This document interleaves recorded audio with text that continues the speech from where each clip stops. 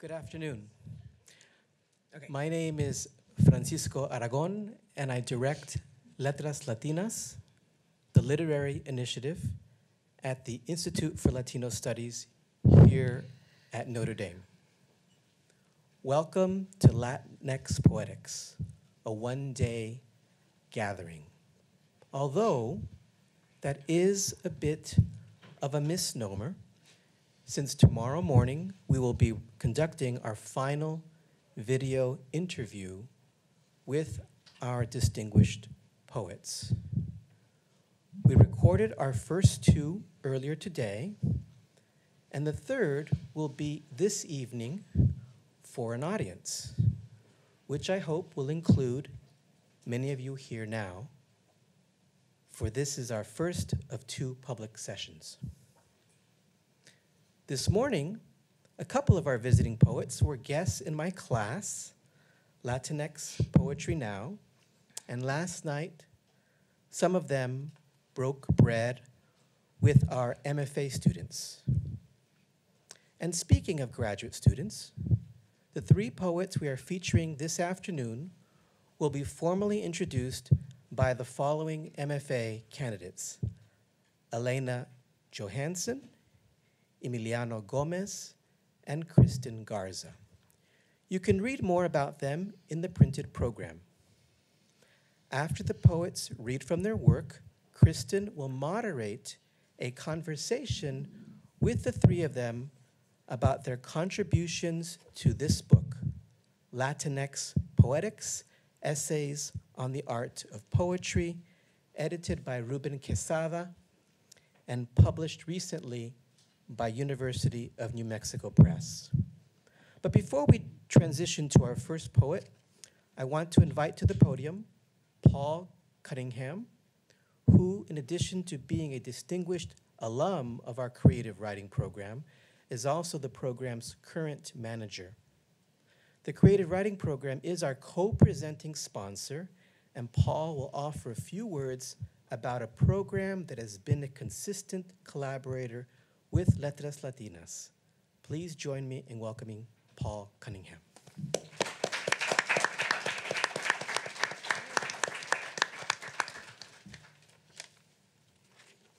Uh, thank you, Francisco, and um, thanks everyone for being here. Uh, good evening. Um, thank you for joining us for Latinx Poetics, a one day gathering, a celebration inspired, as Francisco said, by poet, translator, and editor Ruben Quesada. Um, uh, again, my name is Paul Cunningham. I'm the, I'm the uh, creative writing program manager, and like Francisco, I'm an al- alumnus of the same outstanding MFA in creative writing program. I've proudly returned to serve this program, its award winning faculty, our incredibly gifted students, and our campus community's uh, connection to the city of South Bend. Students, now alumni, like Tess Gunty, the class of 2015, whose recent debut novel, The Rabbit Hutch, was named the National Book Award winner this past November. Nasli Koka, the class of 2020, whose debut novel, The Applicant, was recently reviewed in the New York Times. And Thomas Earl Jones, class of 2019, who will return to campus next Wednesday to read from his debut memoir, Sink, which has received rave reviews from the New York Times Book Review, the Washington Post, Vulture, and the Philadelphia Inquirer. We also hope you'll join us again in Decio Hall's English Commons the following Wednesday, April 26th, for the return of another talented alumna and musician, Austin Wallers, the 2022 recipient of our Sparks Prize Fellowship. Finally, you are all invited to attend this year's final thesis reading happening here in McKenna Hall on Friday, April 28th, featuring readings from our graduating MFA candidates Lance Carroll, Armand Chowdhury, Zoe Darcy, Kristen Garza, Ori Kim, Angela Rang, Jacob Moniz, and Callie Peed. The University of Notre Dame is a very exciting place to be a writer right now. We have a new reading series, the Kelly Reading Series, set to launch in fall 2023, along with many, many other exciting events planned for the 2023 2024 academic year. With that said, on behalf of the Creative Writing Program, we're very pleased to co-sponsor today's Latinx Poetics event, and I hope you'll join me in giving tonight's incredible lineup of poets and speakers another round of applause.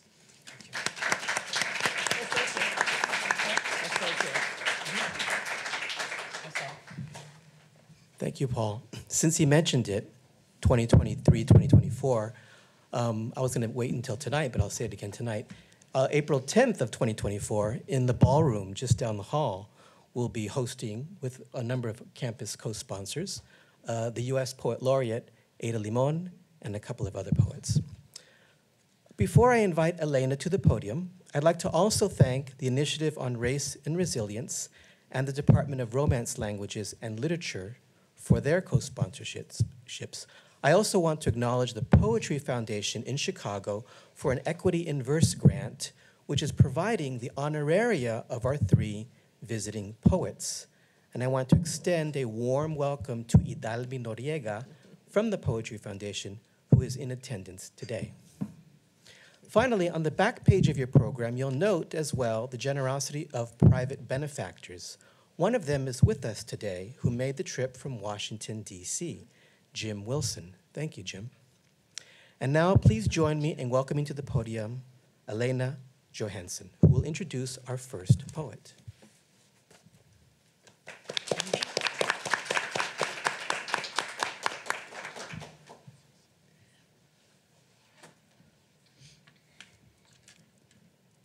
Sorry, I don't want to be too close to it.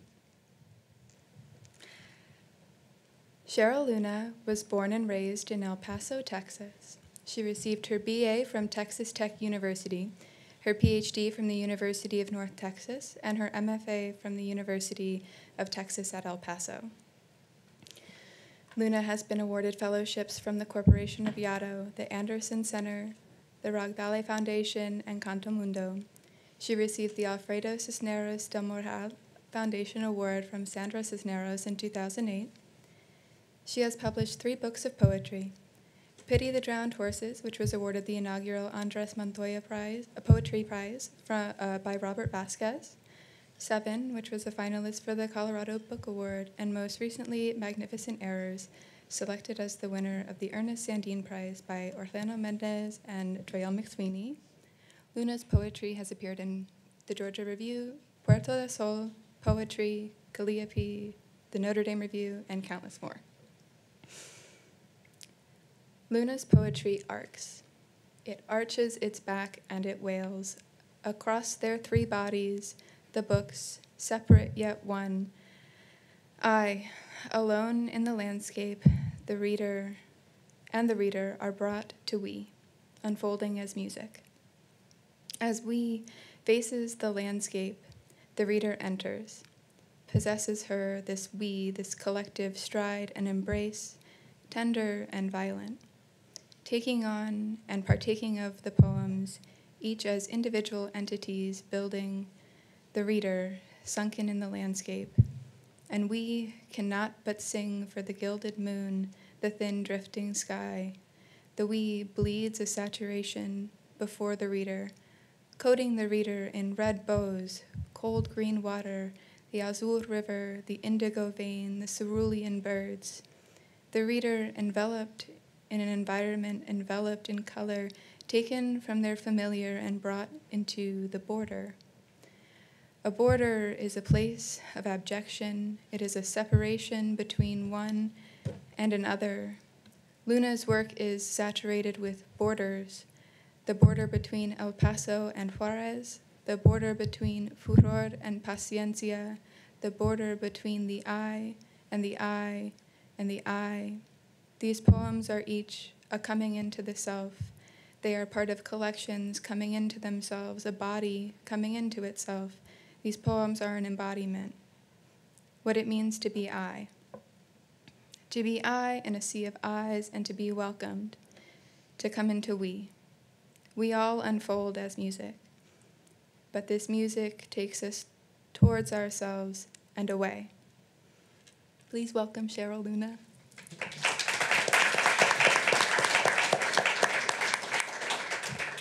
Um, Thank you, Elena. That was beautiful. I feel that you you have a gift. I mean, that was very poetic. I'm very appreciative. Thank you. I would like to thank Francisco Aragon, the um, Institute of Latino Studies, Letras Latinas, uh, Orlando Menes, who I have a great honor that he chose my manuscript, and he has he has done a lot in terms of my writing and poetry. I'm very appreciative. I would like to thank Joyelle McSweeney for her support as well, um, and the Poetry Foundation and the donors um, that make this possible. So I'm very honored to be here. It's a big honor. Thank you. The first one I'm going to read is called Lowering Your Standards for Food Stamps. It's the first poem in the collection. Words fall out of my coat pocket, soak in bleach water. I touch everyone's dirty dollars. Maslow's got everything on me. 14 hours on my feet, no breaks, no smokes or lunch, blank eyed movements, trash bags, coffee burner, fingers numb. I am hourly protestations and false smiles. The clock clicks its slow slowing. Faces blur in a stream of hurried soccer games, sunlight, and church certainty. I have no poem to carry, no material illusions. Cola spilled on hands, so sticky fingered. I'm far from poems. I'd write of politicians, refineries, and a border's barbed wire, but I am unlearning America's languages with a mop. In a summer red hot polyester top, I sell lotto tickets. Cars wait for gas, billowing black. Killing time has new meaning. A jackhammer breaks apart a life. The slow globe spirals, and at night, black space has me dizzy. Visionaries off their meds and whacked out meth heads sing to me. A panicky fear of robbery and humiliation drips with my sweat. Words, some say, are weeping twilight and sunrise. I am drawn to dramas, the couple arguing, the man headbutting his wife in the parking lot. 911, no metered obid, and nobody but myself to blame. Um, the second one I'm going to read uh, deals with um, what happened under the Trump administration with the um, immigrants. Uh, Tornillo's tent prison for migrant children. There's a compulsion to sing of ranches outside El Paso, where cumbias and gritos keep everyone happy. Meditating on the familiar, I remember the fence, the border, and being alone.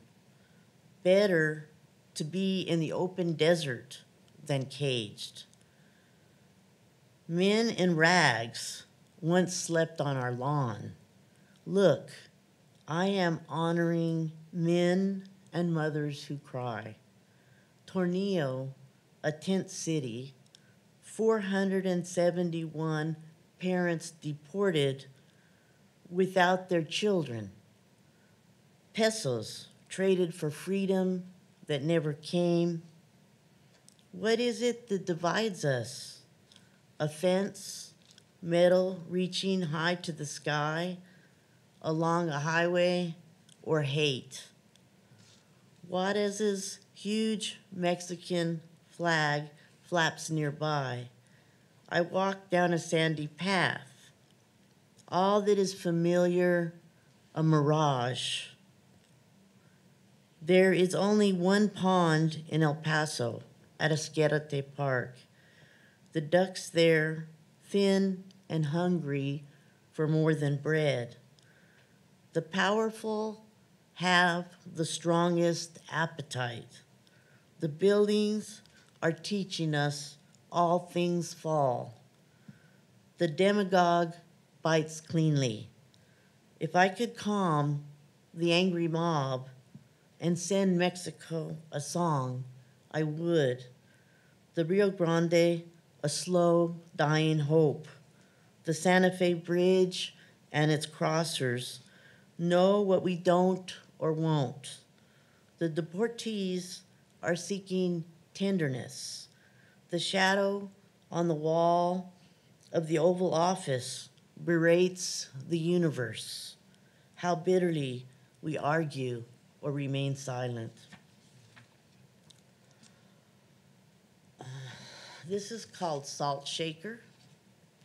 I wrote this in a workshop where there were a number of homeless people participating. Uh, it was just such a wonderful experience uh, in Denver. So they told us to write a poem about an object, and I picked a salt shaker. I too have been shaken, spilled, crystallized, scattered. I have lived in a glass jar with a tin lid. The sounds of dinner talk muffled and echoing through my broken body. If you touch what is left of me, I am but a grainy texture, something to be sprinkled on something else. I am meant to add flavor, sass, to spice the world up to give up my body for another's and lend what's broken a healing balm. Snow like I fall over the world, molecular, dazzling like forgiveness, like compassion. The whole of me, long lost in the space of what was Dead Sea, Indian Ocean, the march of one man refusing violence against the earth. Half naked in sandals, Gandhi walked the salt march, each footprint a light step kissing the ground. Think I just have two more. This was also written in the workshop. It's called the Hard Times Workshop uh, in Denver out of Lighthouse uh, Writers Workshop and this was a topic that was given to us. What I'd say if I had 15 minutes of fame. So, Gandhi's grandson throwing a too short pencil away, desiring a freshly sharpened one. Gandhi making him find the old one in the dark, in the trash out back, telling him waste is violence done to the world. It is quite unpoetic. Modify your thoughts. Sit in the four corners of the earth. Watch open sky breathe its last. High in the hills, streams lit with sun tell a story. Water rushing, sounding its ancient call. Your face warm in the light bare feet cool. There's nothing perilous here in the West while we bomb the hell out of them. Yet each footprint a light step kissing ground. Um, and then this one is the final poem in the man in the collection. It's called The Transgression. We all unfold as music our desire appears each morning. It is white lit, bare branched hunger for the entire sky. Dogs bark at a man with a leaf blower. Doors open, close. My mind and yours lit by sun. Ravens caw, an unkindness tumults in the blue. We feel we learn our traumas too late, but we are as children, closing our eyes we see our salmon lit dawn, and it is no transgression to look towards ourselves with awe. Thank you.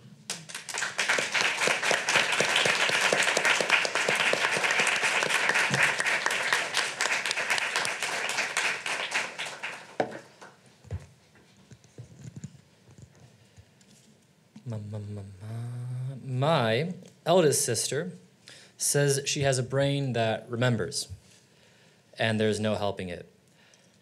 That's funny. It coagulates time, stiffens the freedom of a moment, weaves today to the entire pattern of experience up to today. See, this is hard for me. I'm an incredibly stupid man. But it is the very air of the poetry of Adela Najarro. She morphs a moment, stitches a day into the context of a thousand of days, fragments abounding like so many stills. If you look at a painting long enough, it starts to move, breathe.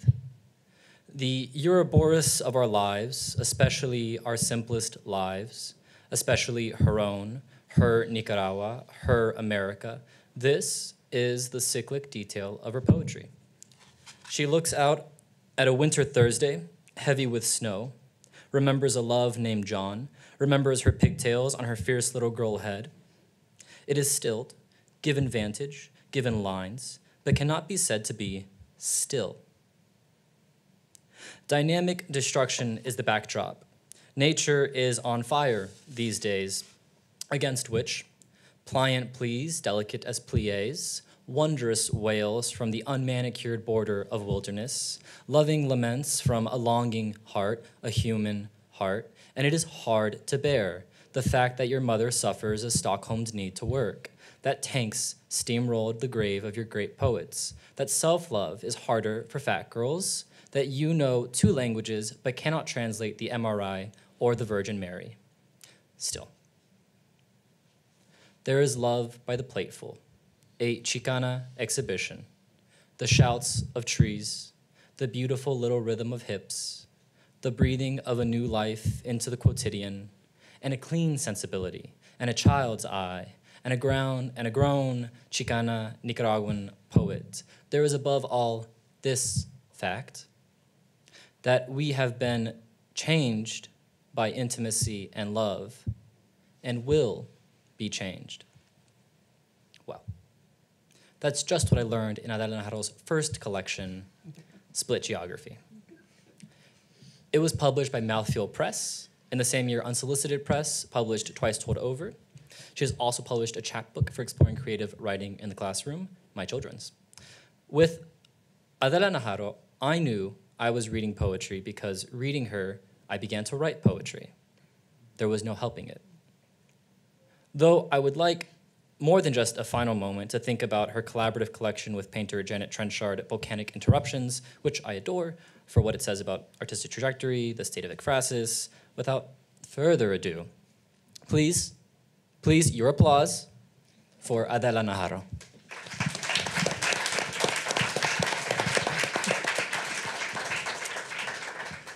Thank you, Emiliano. That um, that was such a beautiful introduction because I felt somebody. I know I touched you. Ay, gracias. um, so thank you, everyone, and Sheryl. Thank you for your beautiful poems and for everything you said about uh, the opportunity to be here in this room with everyone. So appreciated, and thank you to the donors and everyone who supports this. Um, so I'm just going to get going. Uh, I'm going to read a few poems. And the first one is called Volcanic Poetics. After the soldiers left bullet holes and torn mattresses, after iguanas ran off with the sun, after pericos emerged violently squawking, after the dictator collected music boxes and skulls, a song rose from the stink of a river, festering yellow mud, where one eye of a crocodile watched you, I, we, todos break bones, break bodies. I want to tell you about after. How bones knit, courage rises, and we stave off despair. Once in that country filled with mango trees, where sharks live in fresh water, where monkeys are kept on leashes, where ice cream is salty, El Ministro de Cultura issued a call to language as action, a call to write poems about ordinary objects, and exteriorismo began stirring a pot of beans, adding oil and then leftover rice to make gallo pinto, a plain dish that Danny likes, a child, our child, here in the States with Nica blood. Poems are his legacy, along with the lava filled past that percolated a revolution of sound. Vida and ranas, ranitas, little froggies on a farm on the road to Momotombo. My mother's words explode volcanic vowels. Ay, como queman. The slow burn down the side of a mountain with its top blown off. Nature on fire. Poetry, a living thing. And uh, my next two books are from another collection, but my children's is kind of like a co- collected poems that I um, edited so that it could be used in the classroom, middle school, high school, and college. Um, so, um, but I forgot to bring the third book. I can't believe it. So anyway, luckily the poems were in here too. And anyway, hi. So let me read you these two poems, and they're they're also in uh, Twice Told Over. Okay. Early morning chat with God. This morning, I'm back to asking for patience. With my cup of coffee, I sit outside to say hello to you, God, my Jiminy Cricket, my salsa dancing quick with a dip amigo. We have a very collegial relationship. I laugh at all your jokes and praise the wonders of a sky's watercolors. I know you like me a benign affection and tolerance as I run around like a chicken with its head cut off. A gruesome image, nevertheless hilarious, like a grisly cartoon. The blood splurting, the body winding down to zero, the crashing into unforeseen objects. I think if I were back on my great grandmother's farm, the farm that I know only through stories my mother tells of Bluefield, Nicaragua's, Nicaragua, a tortilla filled with just enough, and I saw the long, scrawny neck and the axe, I would be sick to my stomach. The aimlessness of her final strut, the reality of blood loss, her claws scratching the dirt, kicking up rocks, a panic. But when she stops, into the pot she goes, a meal, what we need to continue. Her flesh simmered off the bone, delicious, in a tomato sauce flavored with green peppers and onions. Transformation. The feathers plucked, soil and dust washed away, the table set, goblets of red wine, white china plates, a cast iron pot twirling a bay leaf scented steam. Then a prayer and gratitude that we have enough to make it through another night alone a night filled with longing whispers and the turbulence of dreams. and then uh, this poem is called uh, Between Two Languages. And so uh, my brain is a bilingual brain. Um, I learned Spanish first, and then around age two, I started going to public education and learned English. And so um, I naturally can do it's, very interesting I, I, would think if you weren't bilingual how they flow together without any interruption between two languages misericordia translates to mercy as in god have mercy on our souls. Ten piedad pity us the poor and suffering the lost and broken. Have mercy. Ten piedad misericordia a compassionate forgiveness, carries within miseria, misery, the stifled cry on a midnight bus to nowhere, and yes, the hunger, a starless night's piercing howl, the shadows within shadows under a freeway overpass, the rage that God might be laughing, or even worse, silent, gone, a passing hallucination. Our nerve wrecked bodies tremble. Our eyes have trouble peering into night. Let us hope for more than what can possibly be. Señor, ten misericordia de nosotros. And if we are made in the image of God, then we can begin heading toward the ultimate zero, the void that is not empty. Forgive ourselves and remember the three seconds when we caught a glimpse of someone else's stifling cry, compassion, then miseria, our own misery, intensified by the discordant ringing of some other life, our ultimate separation, our bodies intolerably unable to halt the cacophonous clamor of unanswered prayers. But nevertheless, we must try for no reason at all. Once more, Señor, ten misericordia de nosotros. Forgive us for what we cannot do.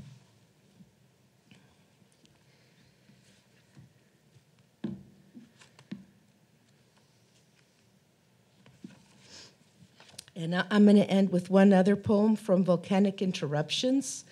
And um, Nicaragua is part of the Ring of Fire, and there's volcanoes. El Salvador tiene volcanoes. Um, and so I just grabbed onto this metaphor of the volcano for this book. And um, there's an image that keeps recurring that I'm going to be an old lady in Nicaragua, and the volcano is going to explode, and that's how I'm going to die. And it keeps happening over and over. So here's one of those poems Before the volcano blows, I will speak Spanish to many stray dogs with fleas and find my way to a nameless street where angels spoke to my mother as a girl. Momotombo will simmer its vengeful breath, rumbling and roaring in the background. It will be a simple matter by then to stand at the edge of a world gone mad, since all the secrets will have been released into the rainforest canopy between Managua and Leon. The few vowels left will explode from parrots squawking, and truth were wearing down upon all who accompany the poor and tired, endlessly scratching memories. This is all because of my mother's whispers, and that I can never remember her exact birthday. Was it on the 22nd or the 28th that she broke into the world with a cacophony of lament and taught me to hide within the walls of my own deception? Too many have withstood the cataclysm of broken doors, the harangue of voices that never cease, the visceral schema of too much that has come before. When I finally arrive, with my own broken being packed tight in a worn leather bag, I will not cry into satin blankets. Instead, I will sip mint tea with two ice cubes slowly melting as my hair curls into ash and dust. Thank you.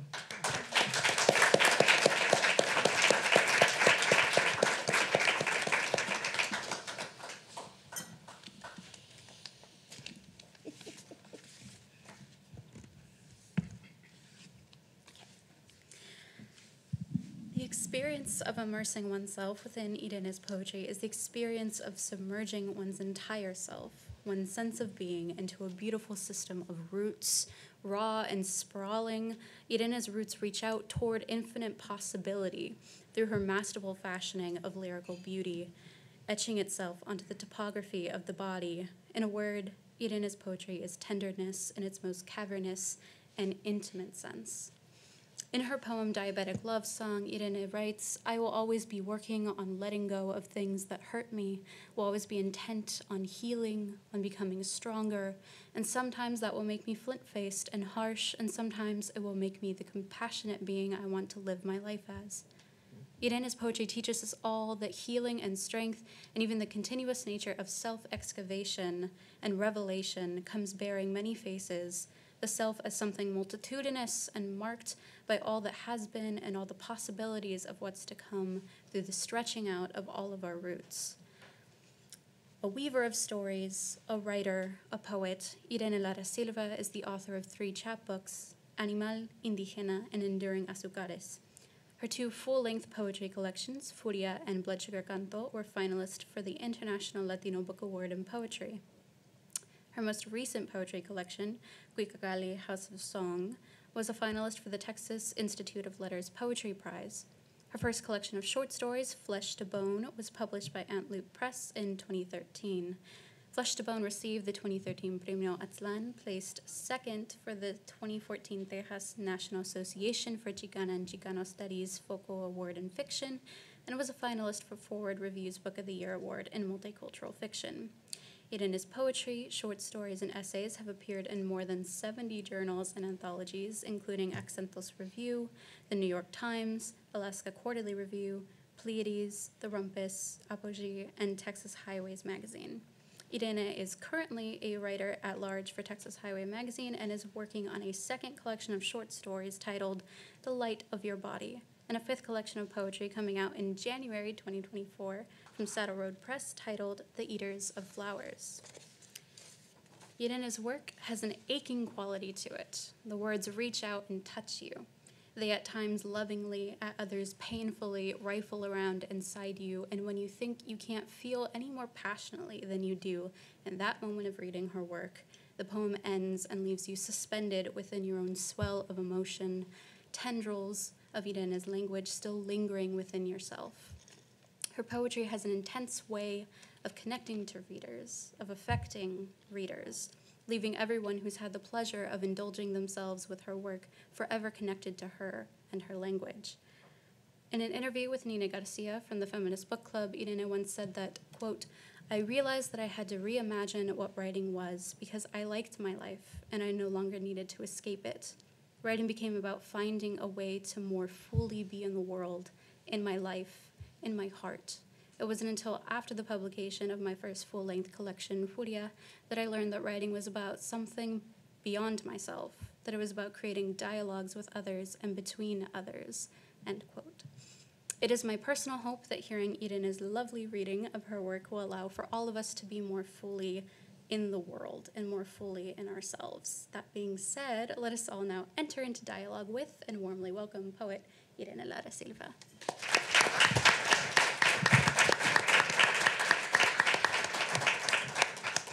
Y'all are killing us with these intros. These intros are gorgeous. Um, I I don't want to repeat too many thank yous, but Francisco, as a person who has organized a crap load of things, I am in awe of your organizational abilities. I felt every single second like everything was in place. It's beautiful. Um, also, I think I deserve extra credit because in their thank yous, they left out the creative writing program. But I got you. I got you, okay? So thank you to the creative writing program for, for funding and for, um, for supporting this. I was listening. I was listening. I was paying attention. Yeah. um, I'm going to start off with what I call the the uh, the heart poem. I think in every collection of poetry, there's one poem that if you can write that poem, then you can write the rest of the collection.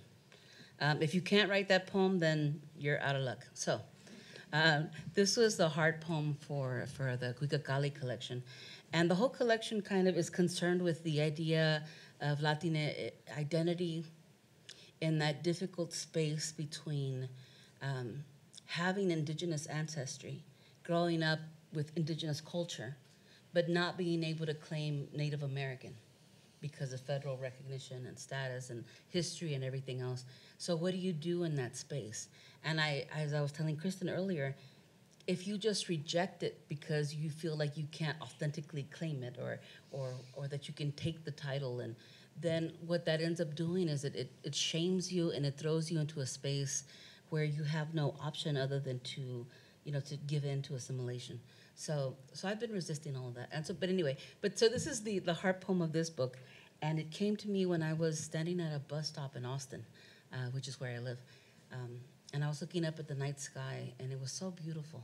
And so these lines came. It seems to me the stars are enduring. Here where I stand, the ancestors stood, the same wind, the same night sky, the same trees, the same sweet scent of grass. I touch my face, and the hand touching my face is a hundred hands deep. We are like lost children who do not know our birth names, do not know our birth mothers, as if we had been taken, as if we had been abandoned, as if we had been raised in a world without mirrors. The world confuses history with truth, victims with survivors, lines on a map for reality. The headlines proclaim us foreign, dangerous, and dark skinned hordes invading what has never existed. This is my earth, not theirs. It has always been my earth. Taste it and my blood, and your tongue will confuse the two, the one. This sky and my spirit, also one, the same ardent shade of blue. And this is my face, my face as it has been for a thousand years, all my mother's faces. I walk the same steps, listening to a half song, dreaming a half song. My voice fashions a half song. But my hands are not half hands. My heart is not a half heart. My blood is not half blood. My soul is not half soul. If I stand, they stand. If I live, they live. If I breathe, they breathe.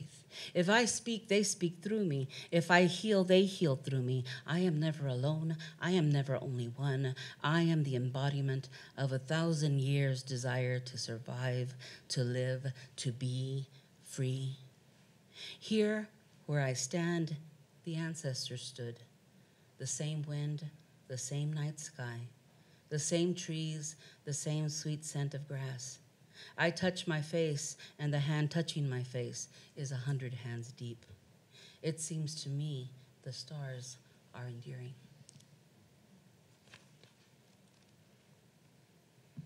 So I was waiting to see if Jose Limon was going to make it to our reading.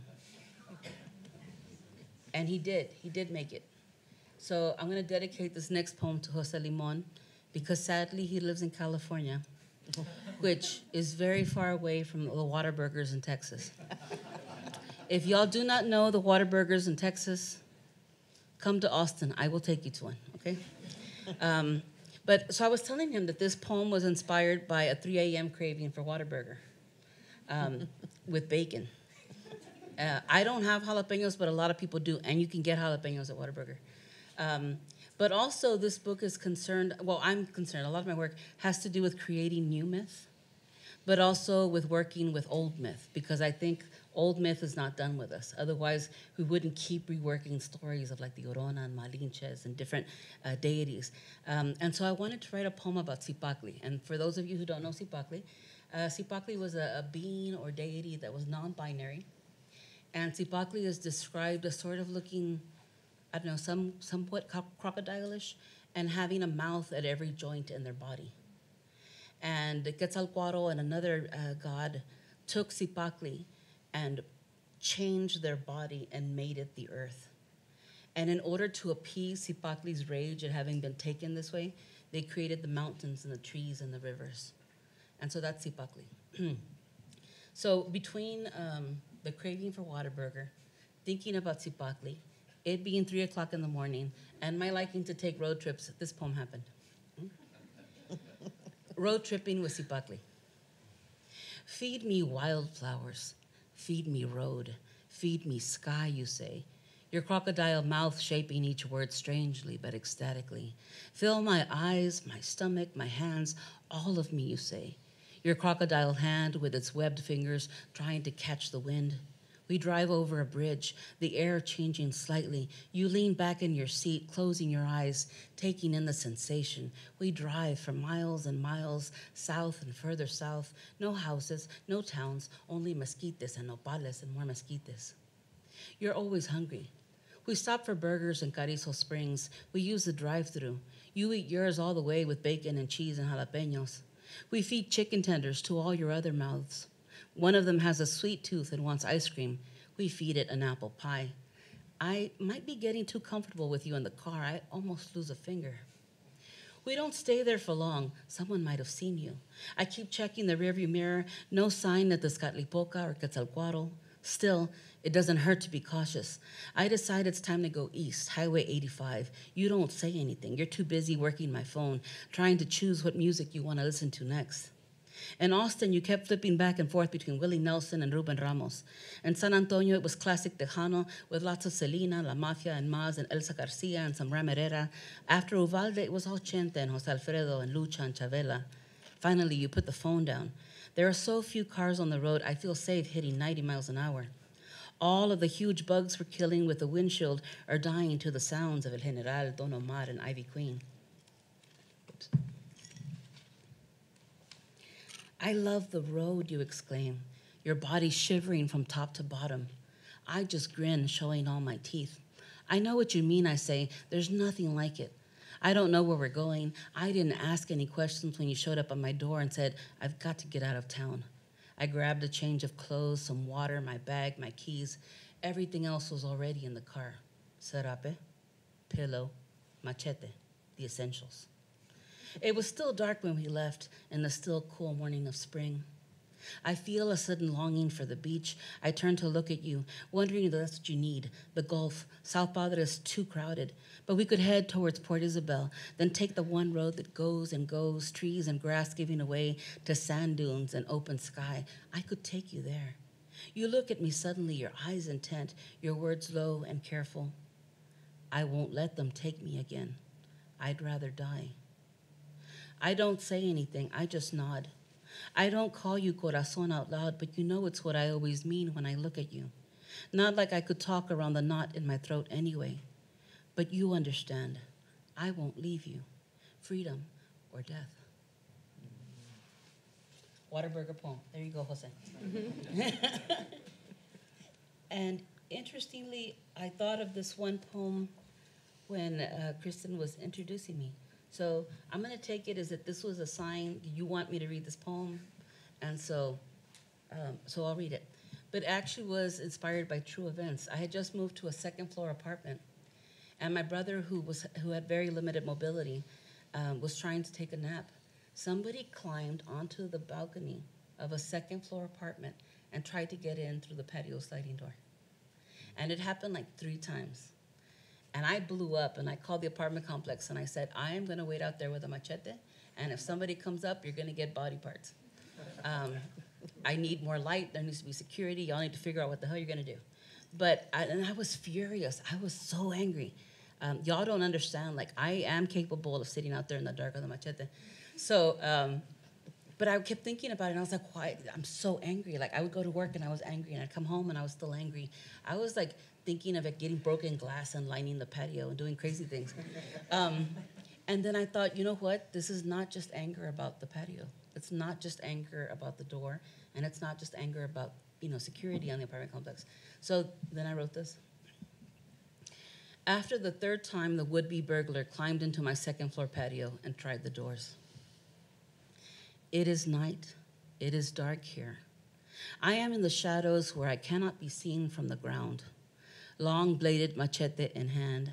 I am waiting for those hands, those fingers to grasp at the railing as he hoists his weight up and over. I will collect my due of blood and scream. I am waiting, and as I wait, it comes to me that I am weary of tears, that we are all weary of tears, that my ancestors and my descendants are weeping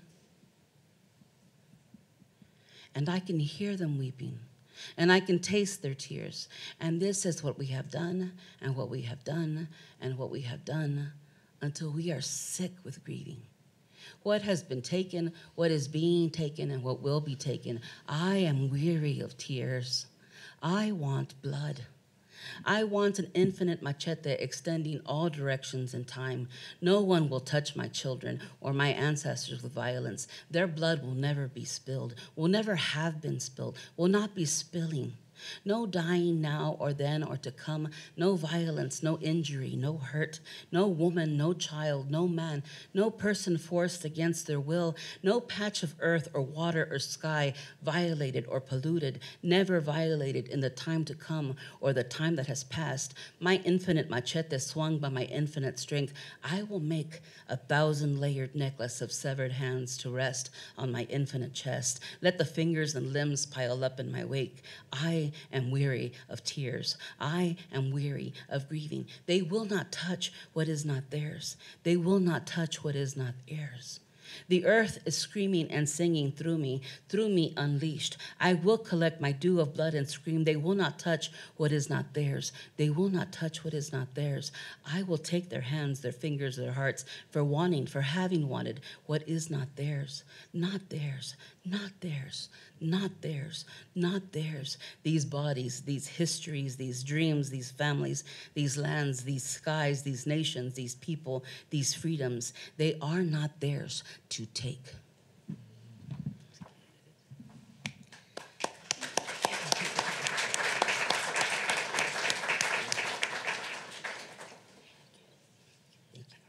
And um, Kristen was saying, so I just finished another collection of poetry, um, The Eaters of Flowers, that will be coming out uh, January of next year. And I want to share with y'all the title poem as soon as I figure out where it is. Um, I thought I had it, but apparently it went back.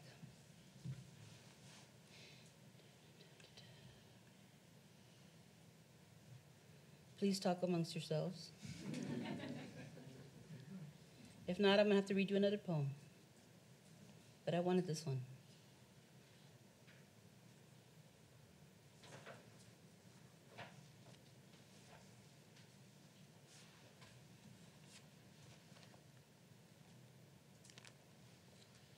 Apparently, I'm not gonna get what I want. Okay, so here we go. Do y'all know what descansos are? They're, um, I see them a lot in Texas. I don't know if they exist in other places. But usually, let's say somebody dies in a car accident, uh, the place where they died, somebody will put a cross or balloons or flowers. It'll, they'll make a little memorial of it. Uh, and so that's what a descanso is. Descanso translates basically to not quite resting place, but like that idea. Um, and I what was I doing? I was hosting a friend of mine, and I went to go get us dinner. And on the way, I, I passed by three different descansos. And I was like, I, I want to write a poem about this. So this is in, in the collection, the new collection. Got to be able to see these tiny, tiny letters. And The Eaters of Flowers, it's basically a collection that I wrote in a very short period of time. Um, it basically, in two months, I wrote the entire book uh, because it was after my my youngest brother, who was also my adopted son, passed away. Um, and I was trying to figure out how I was going to keep on what I was going to make out of life. So this poem is part of that collection. Descanso. I notice them everywhere I go. I always have. Today on the same street, I saw three of them, different sizes. One not much more than a cross with plastic red and white roses, one covered in blue flowers and a wooden slat with a name and a date, and one with only slightly sun faded star and heart shaped balloons, four bouquets of plastic flowers, Mardi Gras beads, a sunshine yellow cross with blessed written in turquoise paint. When I see them, I don't cross myself like I do when I pass by cemeteries and graveyards. I don't know what to call that fractional moment of acknowledgement, which is me all at once crossing myself and sending a prayer and thinking of the deceased and thinking of the mourners and a small salutation to death herself. But all of that happens in a flash, which is neither sad nor afraid, but is real. I think of how it makes sense to mark the place of loss with flowers and balloons and bright colors, how that sends a continuous burst of love to their lost one, how it must be a way to begin to heal the rip of sudden death perhaps a painful death, and how acknowledging the loss hurts less than passing by that place and seeing nothing to mark where it happened. What I have discovered in these months of loss is that the descanso for his loss is not necessarily where his body rests now. It's not even the place where he left this life. It doesn't matter where I am or where I go. I carry his descanso with me everywhere I go. I carry it in my chest. Here in my chest, where his leaving left a hole so big there was hardly enough flesh to keep me together. Here in my chest is where I bring all the flowers, where I leave all the brightly ribboned memories, all the silver medallitas of all the things that meant so much to us both, where I carry all his favorite things, and where I put all the things he would have loved that he will never see or know or taste. Here is where I carry all the balloons lighter than air and heavier than grief. I am the descanso. Thank you.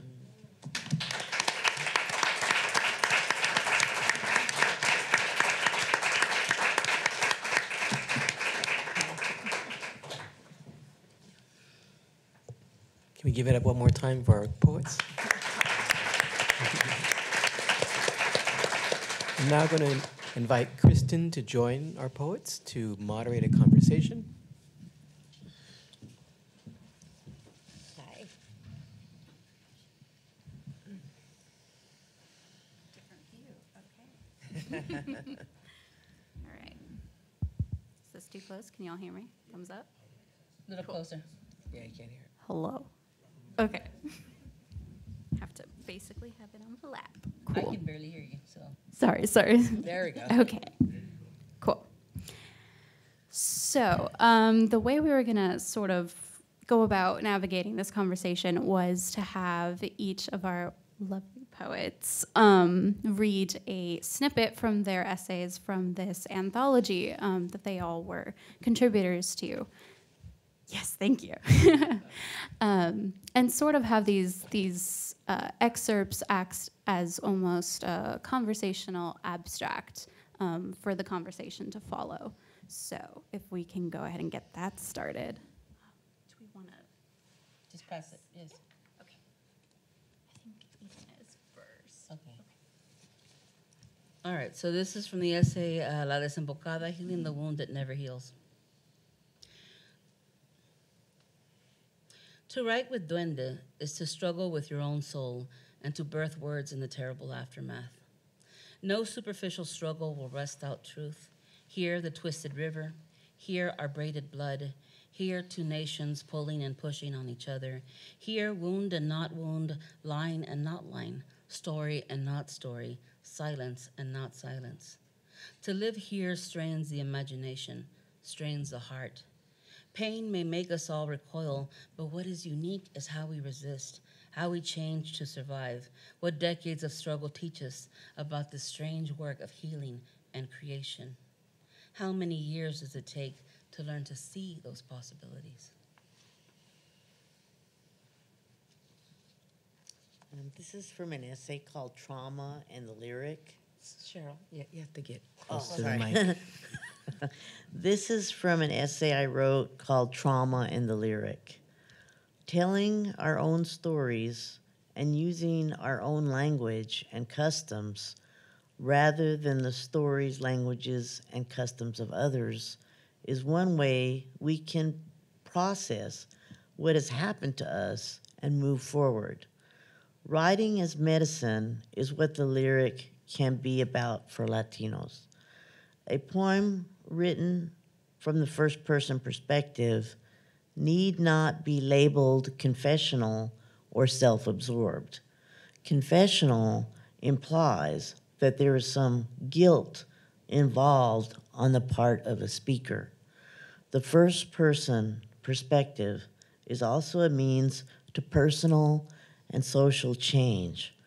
Personal emotions such as grief and anger must be expressed. To argue against the subjective experience is a way of silencing and dismissing trauma. Is it any wonder that anti lyric sentiment has come about when minorities and marginalized groups are now finding their voices and publishing their stories.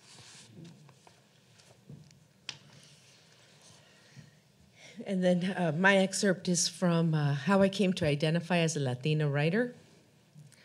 By allowing my Latinidad into my poems, I allow myself to speak and break with the silence imposed on women and Latinas. Latinas can and should write in the details and language of their experience, and in so doing, perhaps expand what is conceived as American experience, but from an interior necessity, not a preordained agenda. Experience is what cultivates the creative imagination, the experience of a life lived, the experience of arguing with dead white men, the experience of being politically and culturally aware, the experience of everything that one can get her hands on. As a Latina writer, I have found the necessity to move beyond US American intellectual borders by looking to Latina and Latin American authors for inspiration.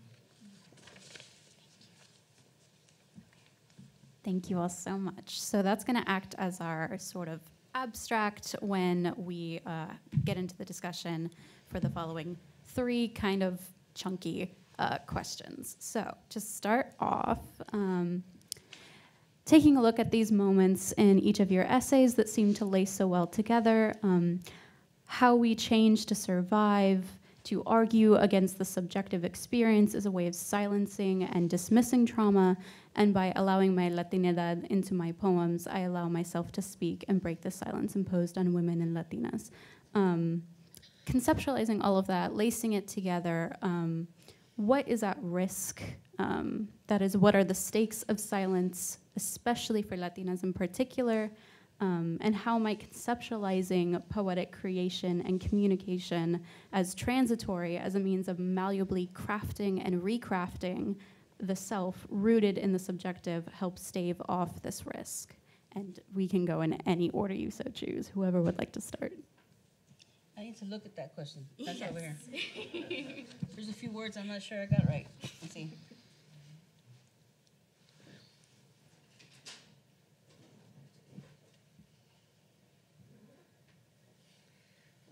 Do you mind if I just go? Go for it. Yeah. Go for it. Um, so, so what, what's at stake is alcoholism, abuse, um, self hatred, um, all these negative things. Because if we're silent, that means we don't know who we are. At least maybe it's I'm a writer and I think that way, but I really think that if we're silent and we don't speak, then we internalize all the negative things that can go inside us, and then it can lead to self harm. And, and if not self harm, it can lead to high blood pressure.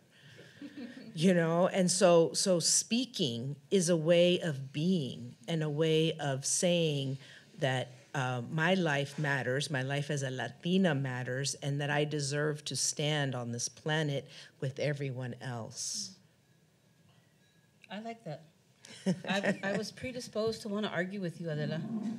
You're, you're not helping here. You're being very agreeable. Um, but yeah, so how many of you? There's a Batman movie. I forget the exact phrase or the exact quote.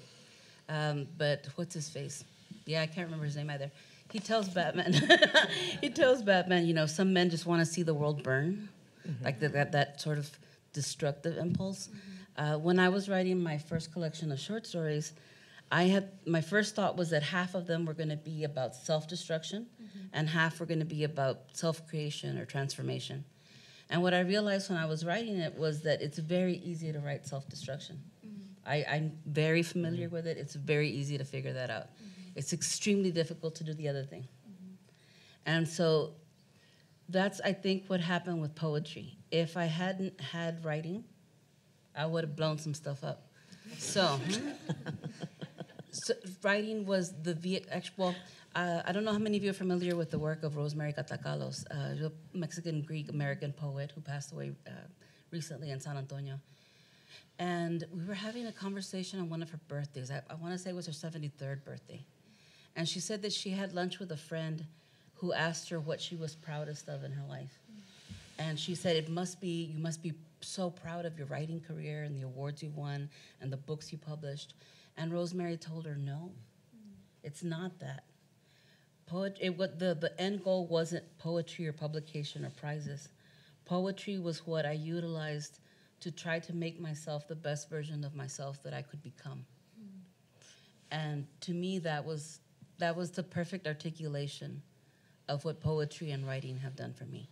Without it, and without what it taught me about transformation and healing, I would be running around destroying things and people. And seriously, like, that's what I would be. I would, I would have been exactly like my father, and and all of his frustrated artists transformed into wanting to destroy the creative impulse in his children.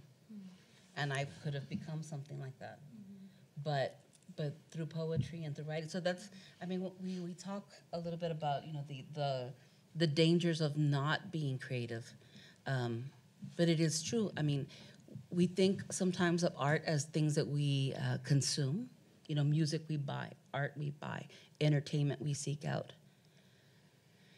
But it's a, it's there. They are ways of so much more of how we see the world and how we live in the world and how we walk in the world and how we create community and how we affect others and how we even manage to connect with other people. So if we're silent, all of that goes away. All of it. Sheryl. Um, I wanted to talk about something that was drilled in my head when I was working on my doctorate many, many years ago. I was told you must write from a place of universality, mm-hmm. that a young boy in Connecticut would be able to relate to what I was writing.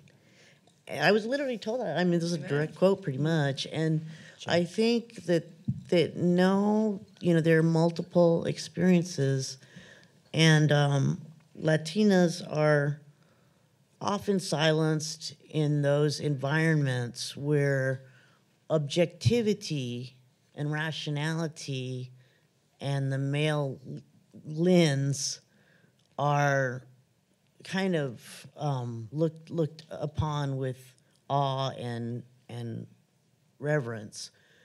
Whereas if you write a poem about your grandmother, your your Mexican grandmother, I have many times heard that kind of mocked, and that you know that's just silly. Why would you want to do that? That's another way of, of, of silencing traumas and keeping women, Latinas, silent. And I think it's important to speak out, you know, to find your voices and uh, share that with other people. Thank you. Yeah.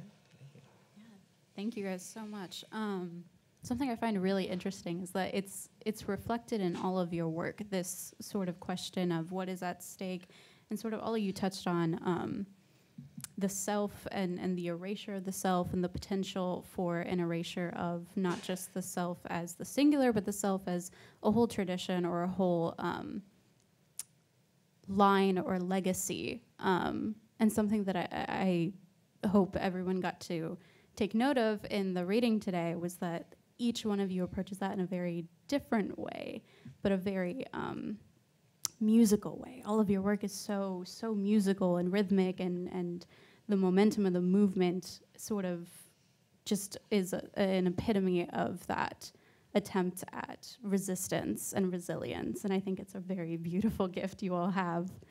Um, so, is it possible, thinking of your own poetics and conceptions of poetry, to create a selfhood located in multiplicity?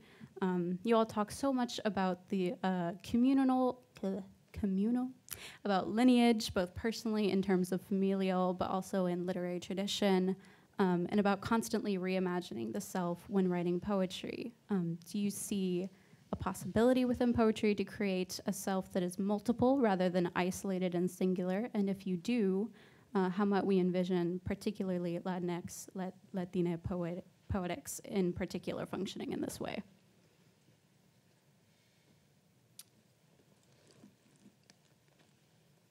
Okay, I'll jump in. I do believe I read a line that says something about I am never alone. And I think that's one of the places to start with the idea of how we are our multiple selves. Um, because first of all, even the idea that we are ever alone is, is a is a foreign thing. We're never alone. I mean, there's there's everything. There's all of existence, all of creation, nature, the world, other people, family, memories, the future, the past. We are never alone. We are never isolated. So how do we reflect that in writing? Be- When the the you know the dominant discourse has asked us to consider the world from a place that is isolated and alone. Um, I guess I, I would describe it more as you know if you if you approach your your life and the way you live in the world in a more indigenous sense, then that's not even a question. But how do you make the language which you have been educated in that tells you everything is isolated and disparate and fragmented and that can't come together, can't join, can't connect? Um, you know, that then is the project of poetry to reconnect all of that, to make it so that we can see how obvious those connections are and that they've always been there. Um, I talked to my friend about I talked to my friend about this question, and she said, "What rivers, what rivers have flowed through your to you through your work?" Um, and I thought that was an interesting way to look at identity, identities. Um, uh, one thing I like about this anthology is that um, it he shows how our ethnicities like latino is just not a monolith. There's there's a wide variety and fluidity to to to those labels i guess you could say essentially you know. Um, we what what flowed what rivers flowed through me were some of the stuff i've talked about. Uh, also i write about mental health which is uh, a different take on things in some ways. I write about El Paso, which which is very dear to my heart, and um, so I, I, I believe in the fluidity of ethnicity. Um, just we're all different. We're we're not. We don't all have the same experiences, and so multiplicity comes you know so many ways in this anthology. It's just it's I loved it. I loved the essays. So thank you. Um, so, so for me, the idea of multiplicity is, um, I view it as my core and as something that I'm learning to live with every single day and celebrate. And it does um, where. So right now, if you could, if I could illustrate my mind, I'd be showing you all the different multiple boxes that are all connected together. Um, that's because that's how I, as I investigate reality and existence, that's what I keep finding. And it begins with uh, me being 14 years old and going to Nicaragua. My entire family's from Nicaragua. I could have been born in Nicaragua. I spoke Spanish first. And when I got to Nicaragua, everybody would say, Hey, you're American, aren't you? You're from the United States. Una gringa, right? And I'm like, What? What do you mean? What do you mean? And then my family's from Nicaragua, and I'm being raised in Southern California. So I'm not Mexican American, right? So it's like, oh, I don't know. Who are you? What are you, right? So, so there's a saying. Puertorriqueños have this. They, they, they, this comes from la gente que son Puerto puertorriqueñas. Ni de aquí ni de ni de allá, ni de aquí ni de allá. And so you're, it's like nowhere, right? Or at least that's what you think at first. Then you realize, thanks to Gloria Anzaldúa, that it's not nowhere, it's multiplicity. It's mass. it's two, it's three, it's, it's Nicaragua, it's the US, and then it's Nicaraguan American, and it's Mexican American Nicaraguan, and it all starts to multiply out and it's humongous and it's amazing. And then that's only with identity. Then you apply that concept out of language to identity to culture to sexuality to spirituality to our being. And we tap into um, what i'm finding is a truth of existence is this multiplicity. And so um, in regards to the Lat- latino poetry or latinx poetry again one of the things is that latinx poetry isn't one thing you know, the, the US Latino experience is multiple in its very definition of what Latino is. And then, and the, my poems, and I see it in my poems, it's very interesting this time being here with you. I'm actually thinking about my poems, like not as me, the writer. I'm like, oh, what are they gonna say about my poems? Right? So I'm trying to look at them from outside, and I'm finding that there's a lot of multiplicity in my poems and I do that I'm re- because it's my truth, my understanding of reality. So like the details and time crashing all together. Yeah, so that so multiplicity to me is central to my to what I'm discovering.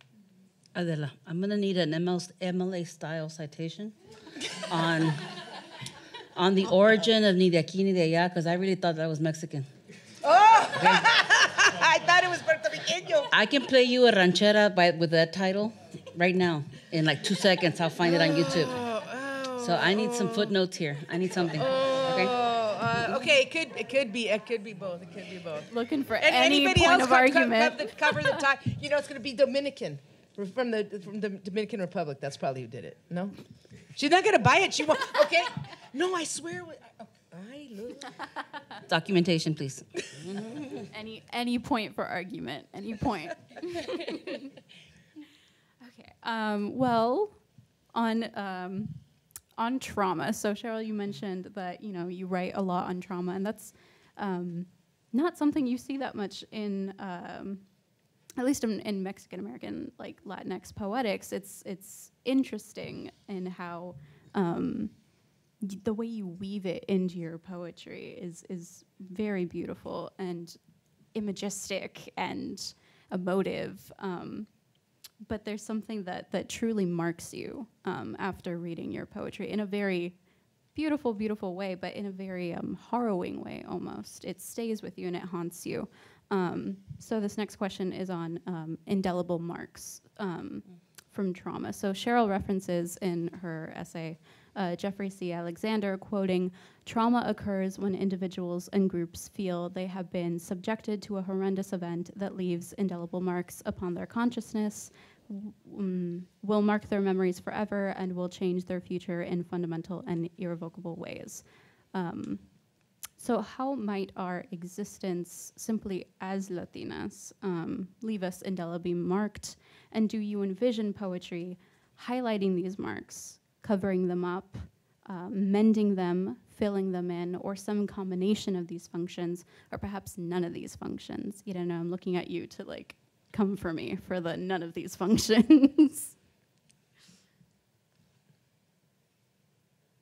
Oh, okay. I, thought she said an N. Um, yes, she's, she's taunting me.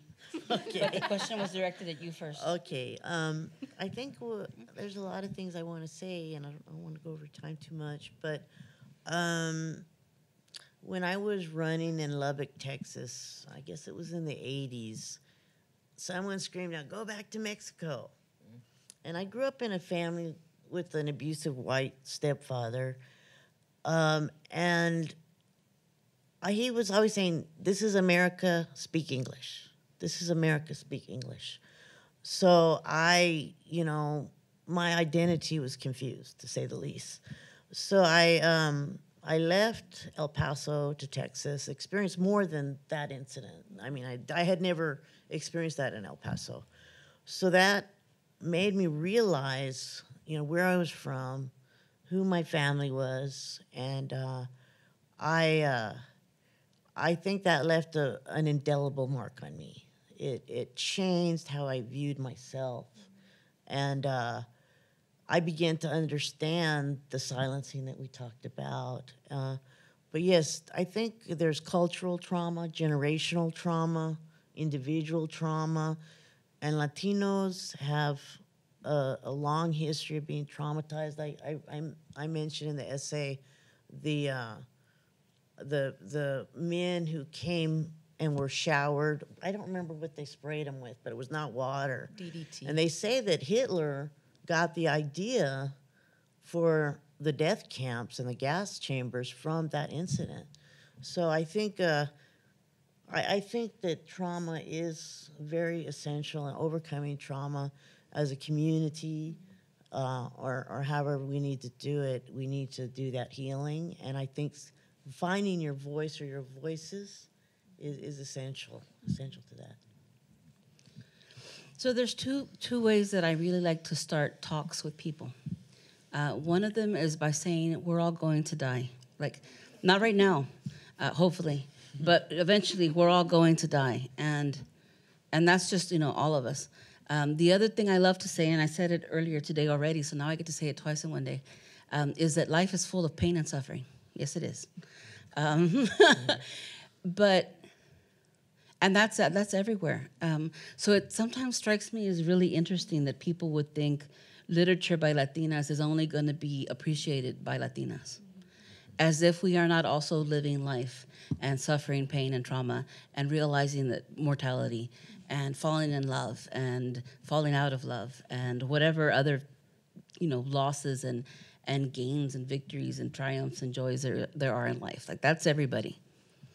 Yes i think you know there's very specific you know historical traumas uh, and experiences and ways of looking at that as much as as women you know we were talking a lot earlier about violence and abuse and and and what that does. Um, so all of that is there.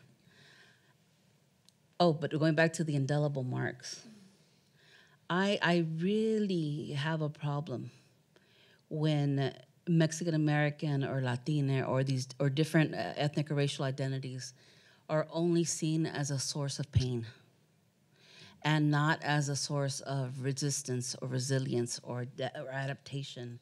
Um, like, well, so I, you know, earlier on we were ranting about tamales. Um, I don't know if y'all have ever been subjected to these Facebook, you know, crazy things about tamales, the food. Um, people are always arguing how do you spell it? Does it have an E? Is it tamal? Is it tamale? Does it have an S? You know, should you eat it with ketchup? Should you eat it with salsa? You know, how, how do you eat it? Where do you eat it? All these other things. Um, and I'm like, I don't care. I am so happy that tamales still exists 500 years after the conquest. That's what I'm happy about. You know, some people speak Spanglish, some people speak California Spanglish, Caló, Tex-Mex Spanish, Indigenous Mexican Spanish, you know, Spain Spanish. Whatever. I don't care either. I'm so glad they're speaking whatever they speak and that they're speaking any part of it. And and all of that that that idea of what is authentic and what is real, you know, causes all this shame. And so I feel more like the indelible marks are not from the experience of, of living or the experience of being Latina. They come from all of these uh, situations where we are shamed for being this or for being that or for taking on whatever, rather than just celebrating the fact that the fact that we are not one homogenous blob means that our particular, our specificities, our histories have survived and are still surviving and are still fighting. That's beautiful. Um, so yeah, so so yes, I, I want to kind of question a little bit, not a little bit, a lot, how we look at indelible marks and what the sources of our pain are. Mm. Yeah. Um, so when you when when I was thinking an indelible mark and uh, injury, and it becomes a scar, and um, the scars don't go away; they're scars, right? There's a scar on your body, and and it comes from what all, both of you were saying the the history, the personal, and and these scars are there. So then, what can art do? And, and what can we do? And I think we can, and especially in a Catholic institution, um, what can we do? We can transform this pain into something else. Um, and so in a poem, we can transform it into community, right? So we, we share our journey with, you know, it takes a lot to write a poem about a, tr- a scar. and so if we're brave enough to write that poem and put it out in the world, then we're creating a community, reaching out a hand to somebody else who's going through that. Um, and if it's larger than that, we can then uh, change the misconceptions of what history is. Um, and, and so we can transform it. And then, of course, with the spiritual, um, we can transform this pain into uh, something more than that. And, and oh, that's what that poem was that I read, Misericordia. I, uh, the reason I wrote that poem is I was shocked. In the moments of my pain, I was more compassionate to those around me. And I was shocked at that. I was shocked. I was like, ¿qué es esto? Right? Why am I being nicer to people? Right? Shouldn't I be? Yeah, but I, I, I, was shot. It wasn't me. That was that was God. That wasn't me. That was God. And so, but I think we can do that in our poetry. I think poetry can do that. I think we can do that in our lives. We can transform, um, but we can't take away the scar. It's always there. Beautifully said. um, I'm looking over how we doing on time, Francisco. We're doing okay. Francisco Nice. says big old clock. Yeah. well, thank you all so much for answering those questions. Um, I hope that this was nice and you took some things away. Um, we're opening up the floor to audience Q and A. So anyone just.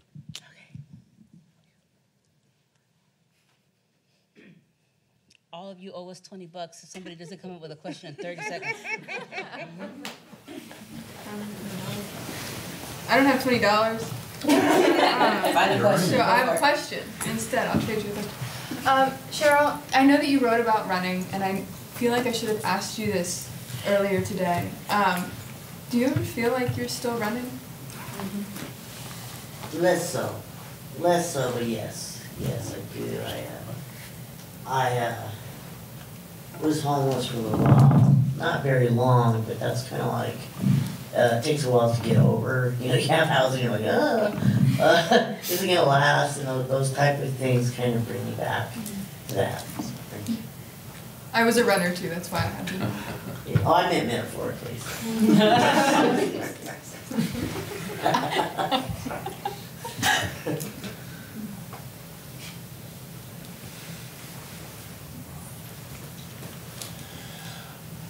You know, I see uh, obviously three very talented Latina poets here uh, in front of us, but um, I'm very curious, what is your relationship, if any, to the previous generation of women who wrote poetry and in most cases somewhat identified as Latinas, although the, the tradition I know best identified as, as Mexicans in some form or fashion.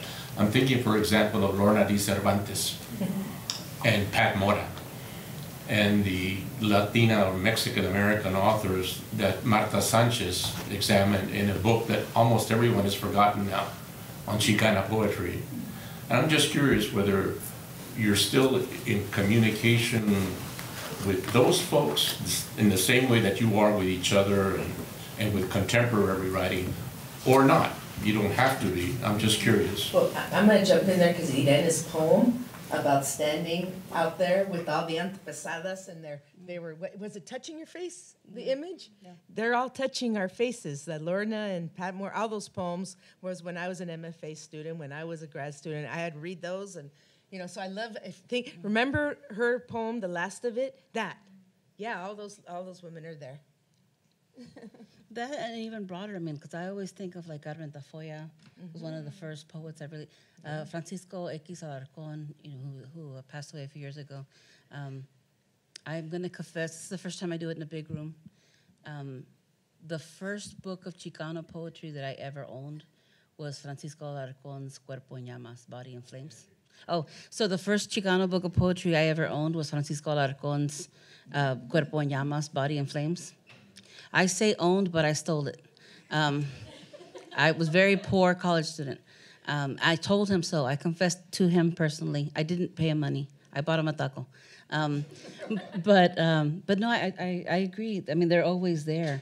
Um, and then broader to Native American poets like Joy Harjo, uh, African American poets like Sonia Sanchez and Nikki Giovanni, and uh, just you know all of these voices. They're they're all touching us all the time. They're all um, who was I think it's Joy Harjo was saying that that each poem has its own ancestry. And there's something beautiful about when I, I was reading something and another friend came along and said, "Oh, I see the influence of so and so in this poem. I see how it." You know, it, it's it's riffing on the same rhythm, or it took some of the theme, or or some of this language, like it's the little pieces that that that hit us so deeply that not only did we have to to respond to them, but we learned something about language.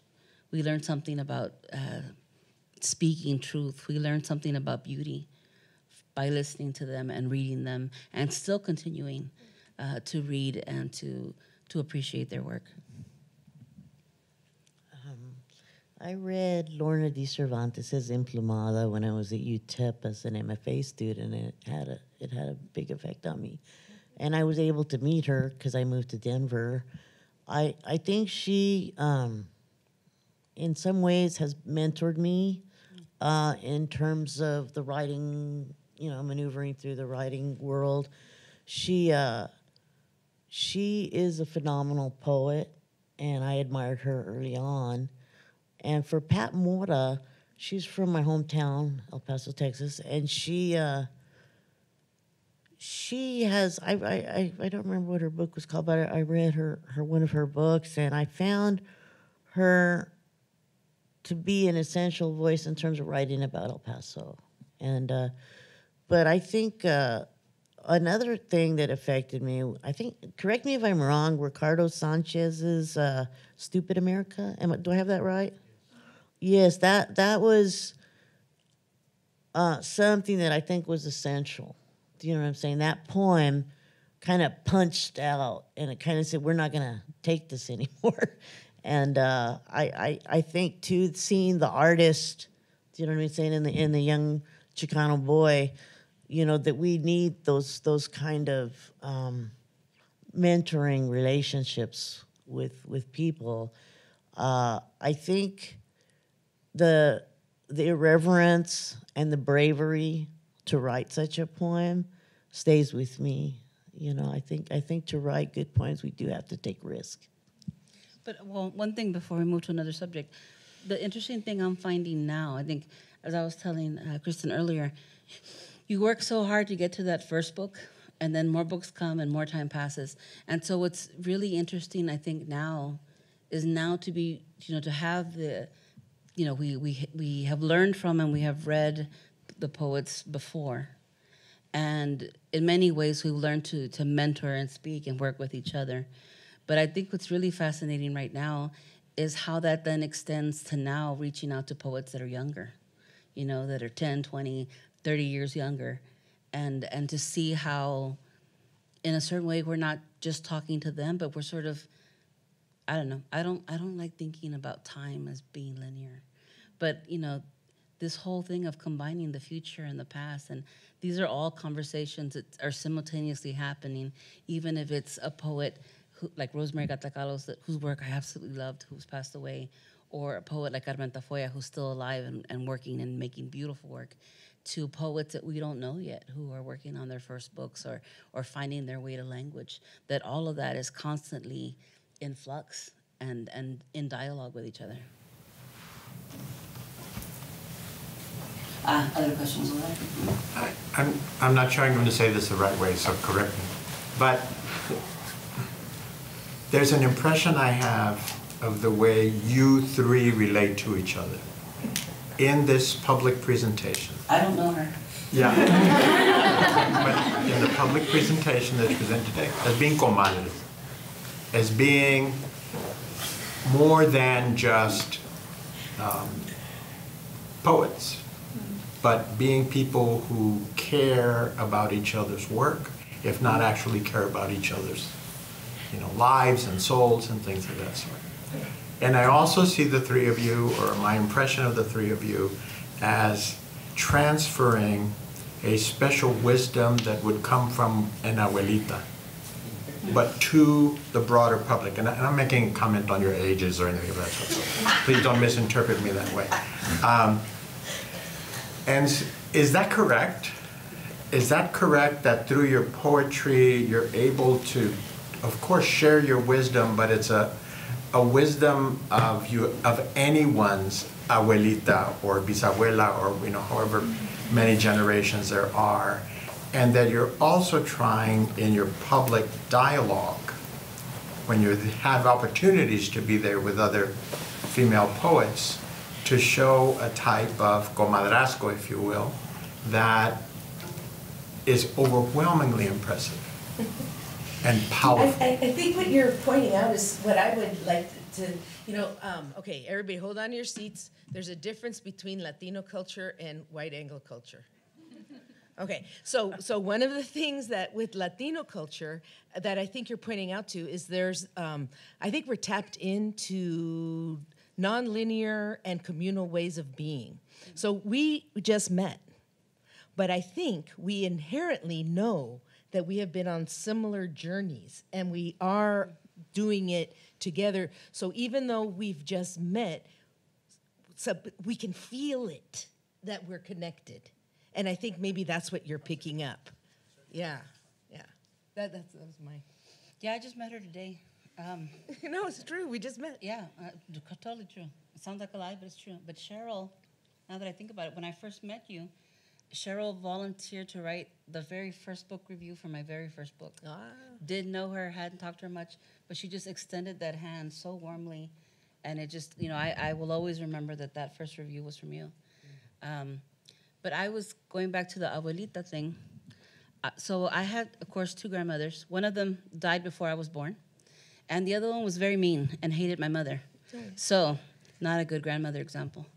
Um, but, but, but what I'm going to to transliterate here, um, yeah, yeah, what I, what I'm going to transliterate from from the abuelita sense, though, uh, other than a comment about any of our ages, is um, that for a lot of people, you know, abuelita it correlates with a kind of love, you know, and and I think that's one of the things that that I love about Latina culture, and that I sometimes really love about that I think happens really spontaneously sometimes in gatherings of women. Um, this this this ability, this desire, this this openness to say, I don't know you, but but I recognize something of myself in you, and I already love you. You know, I was fighting with some people. I was fighting with them, not against them. I was fighting with them recently, and I was like, and fighting with them just made me like love them to their essence. I'm pretty sure I'm gonna love them for the next 40 years, at least, or however long I have left of life. Um, but yeah, it's just that that willingness to love, and I think sometimes we associate that with abuelita, with abuelitaness, um, because it takes a while for most people to get there. It's so hard to learn to love, and it's so hard to learn to offer love, and it's so hard to learn to receive love. But I think that's what I equate with abuelitanas. So, you know, you write some poems, you suffer a bit, you live for a while, and then you can just come to people and just love them. Yeah, mm. um, my my grandmother was like harsh, mm. very harsh, abusive verbally to my mother. Mm. But, but like she would, all of my uncles, she would not call them by their name. She would call them capron. all, all five of them. so, but but you know, she would like stick ten dollars in my hand.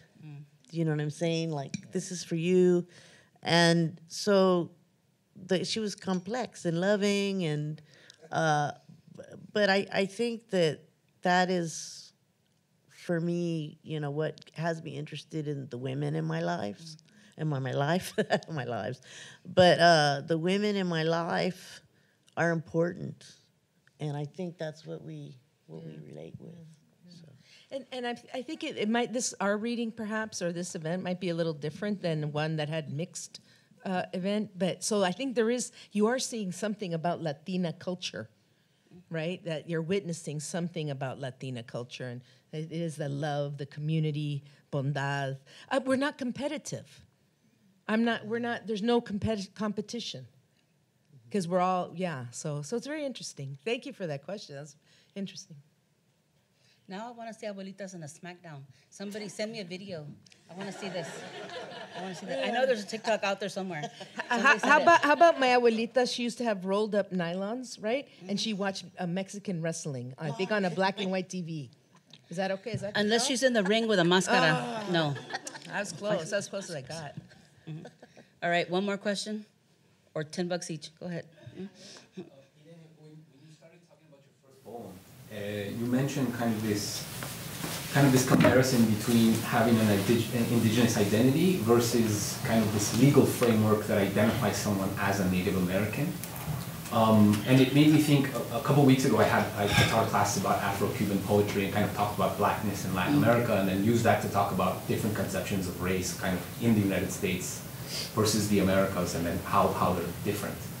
Um, and, and one of those things was how kind of mestizaje was kind of this erasure of blackness from Mexico and from different countries uh, throughout Latin America. And, and I thought that exactly what you were saying. I was like, okay, this is a really interesting uh, kind of way to get at through another angle, kind of the erasure of the like, kind of you know the indigenous person from uh, kind of the Americas.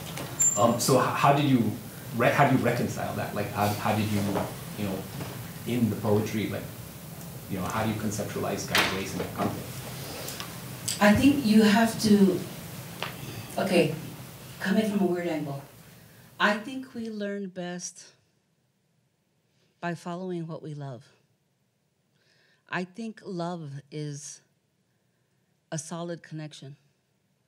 So if I say, you know, I love, you know, this about my indigenous culture, one of the things that I, I argue a lot is that Chicano, Chicanismo or Mexican American, uh, without its indigenous component, loses a lot because every healing tradition that Chicanos or Mexican Americans identify, those are all indigenous traditions.